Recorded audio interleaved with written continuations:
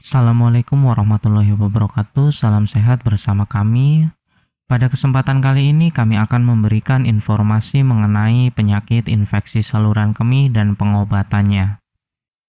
Infeksi saluran kemih adalah kondisi ketika organ yang termasuk di dalam sistem kemih seperti ginjal, kandung kemih, dan uretra mengalami infeksi. Infeksi saluran kemih lebih sering terjadi pada wanita, namun pria juga dapat mengalami akibat pembesaran prostat. Infeksi ini biasanya terjadi pada kandung kemih atau uretra, namun ginjal juga terpengaruh pada infeksi yang lebih serius. Infeksi kandung kemih dapat menyebabkan nyeri panggul, meningkatkan dorongan buang air kecil, nyeri saat buang air kecil, dan ada darah dalam urin. Sedangkan infeksi ginjal dapat menyebabkan sakit punggung, mual, muntah, dan demam. Infeksi saluran kemih terbagi menjadi dua, yaitu infeksi saluran kemih bagian atas dan infeksi saluran kemih bagian bawah. Infeksi saluran kemih bagian atas merupakan infeksi yang terjadi di bagian atas kandung kemih, yaitu di ginjal dan ureter.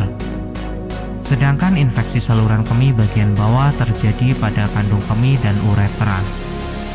Gejala infeksi saluran kemih sangat beragam, di antaranya yang pertama yaitu nyeri atau perih saat buang air kecil, rasa ingin buang air kecil dan tidak bisa ditahan, rasa tidak nyaman dan nyeri pada perut bagian bawah, seperti ada tekanan pada panggul, bau urin yang sangat menyengat, warna urin yang keruh bahkan bercampur darah. Badan terasa lelah, tidak enak, dan nyeri. Urin tidak keluar sepenuhnya saat kencing. Ini adalah beberapa gejala yang paling penting untuk infeksi saluran kemih.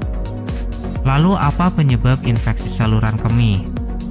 Untuk penyebab infeksi saluran kemih juga cukup beragam, di antaranya kurang minum air putih, suka menahan buang air kecil, menopause atau pada wanita lanjut usia. Yang keempat, penderita diabetes dan yang terakhir wanita hamil. Infeksi saluran kemih sangat berbahaya untuk wanita hamil. Adanya infeksi dan peradangan pada wanita hamil dapat memicu adanya kontraksi Kontraksi membuat pintu jalan lahir terbuka yang menyebabkan bayi lahir sebelum waktunya. Lalu bagaimana cara mencegah infeksi saluran kemih? Infeksi saluran kemih dapat dicegah dengan beberapa cara. Di antaranya, memperbanyak minum air putih, membersihkan organ vital sebelum berhubungan intim, gunakan pakaian dalam yang longgar dan berbahan katun.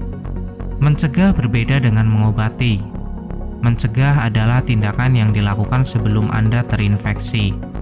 Sedangkan mengobati, Anda tentu sudah terinfeksi dan harus segera dilakukan pengobatan sebelum infeksi semakin parah dan menimbulkan komplikasi kesehatan yang lebih serius.